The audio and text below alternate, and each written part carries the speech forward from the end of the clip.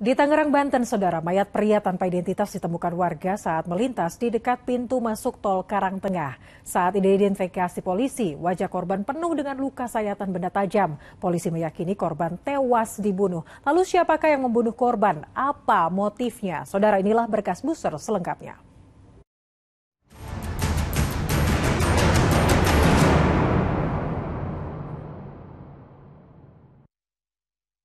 Korban ini merupakan mantan pacar dari tersangka DF yang wanita. Ini sering kali menghubungi dan mengajak tersangka DF untuk berhubungan badan sehingga membuat tersangka kesal.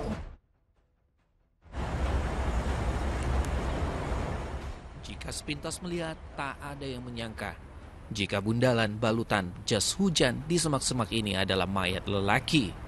Bau menyengat membuat warga curiga. Saat memastikan bundalan jas hujan tadi adalah mayat, warga segera melapor ke polisi. Aparat Polres Metro Tangerang mendatangi lokasi mayat yang ditemukan warga, tepat di pinggir jalan sebelum masuk pintu tol Karang Tengah, Tangerang. Polisi langsung mengevakuasi jasad lelaki yang diperkirakan berusia 30 tahun. Mayat tergeletak dengan kondisi tangan dan kaki terikat, sementara leher dan wajahnya penuh luka kekerasan senjata tajam. Tak mau membuang waktu, setelah mayat diangkat, polisi segera menggelar olah tempat kejadian perkara.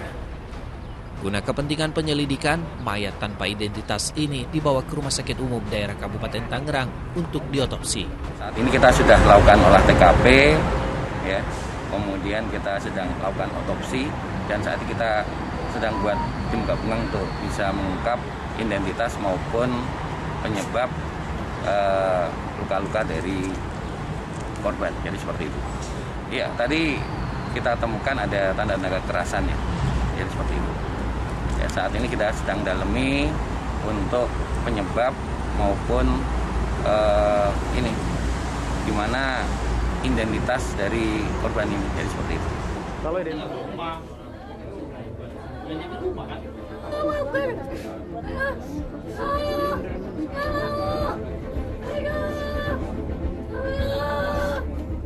Tangis kesedihan pecah saat polisi mengungkap identitas korban dan mengabarkannya ke keluarga di Kelurahan Bojong Jaya, Kecamatan Karawaci, Kota Tangerang. Korban bernama Bayu Samudra, pelajar kelas 2 sekolah menengah kejuruan. Sebelum ditemukan tewas, korban terakhir kali berpamitan pergi dengan orang tuanya dan dijemput oleh dua orang teman korban. Pamit ke mana Pak? Itu pamitnya mau main teman-teman. Oh, main. Iya, main. Ada yang nyamper atau gimana Pak? Oh, ada yang nyamper waktu itu. Cuma kenal? Oh. Ya.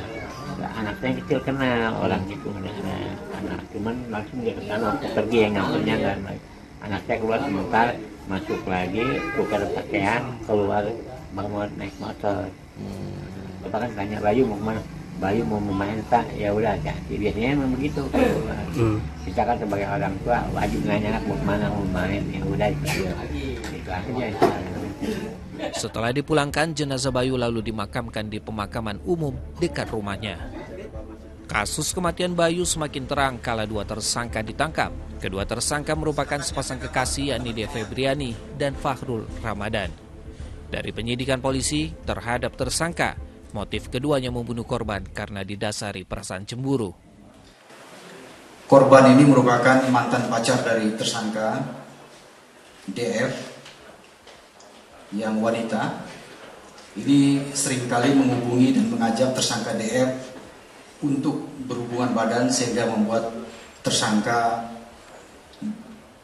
kesal kemudian tersangka DF menceritakan hal tersebut kepada tersangka FR yang merupakan pacar dari tersangka DF di hari kejadian, tersangka Fahrul menyuruh pacarnya Dea untuk mengajak korban bertemu di Jalan Puri 11 dekat gerbang tol Tangerang, Karangtengah. Tanpa disadari, korban ternyata dijebak oleh mantan pacarnya. Pada saat tersangka dan korban bertemu, tersangka DF kabur dengan menggunakan motor milik tersangka FR. Tersangka FR langsung menyemprotkan cairan carbon cleaner tersebut ya jadi menggunakan menyemprotkan cairan carbon cleaner ke arah muka korban ketika korban sedang membersihkan mukanya dari cairan carbon cleaner yang disemprotkan oleh tersangka FR, ini langsung tersangka FR langsung mengambil martil atau palu ya yang ada di sini yang sudah siapkan di dalam tas. Kemudian tersangka FR langsung memukulkan ke arah kepala bagian belakang terhadap korban sebanyak tiga kali. Polisi meminta Dea Febriani dan Fahrul Ramadan memperagakan ulang saat mereka membunuh Bayu. Sepasang kekasih ini kompak memperagakan adegan saat Dea dan mantan pacarnya Bayu datang. Hingga dua sejoli ini menghabisi nyawa korban. Awalnya, Dea menjebak Bayu untuk bertemu setelah bertemu korban, Dea dibonceng oleh korban. Sesuai skenario, pacar Dea, Fahrul, berpura-pura memergoki keduanya. Di saat itulah Fahrul terlibat cekcok dengan korban. Saat suasana memanas, Fahrul memukul kepala Bayu dengan martil yang membuat Bayu tersungkur. Dalam kondisi tak berdaya, tubuh Bayu dibuang ke semak-semak. Tak yakin korban sudah tewas, kedua tersangka kembali lagi mereka lalu kembali menganiaya korban dengan senjata tajam dan memastikan korban tewas. Jasad korban lalu ditutupi dengan jas hujan. Kematian itu didasarkan karena benturan di kepala. Jadi pada saat itu korban sudah meninggal. Tetapi pelaku datang lagi untuk memastikan kematian korban itu dengan menggorok leher dan bagian wajah. Menggunakan apa itu, Bang? Kalau untuk eh, bagian kepala dipukul menggunakan martil ya. Kalau untuk menggorok itu menggunakan katar. Merasa dilecehkan saat dirayu oleh korban. Tersangka Dea kesal bukan kepalang. Namun kekesalan itu tak seharusnya dibayar dengan menghilangkan nyawa korban. Apalagi hingga mengajak pacarnya untuk merencanakan pembunuhan.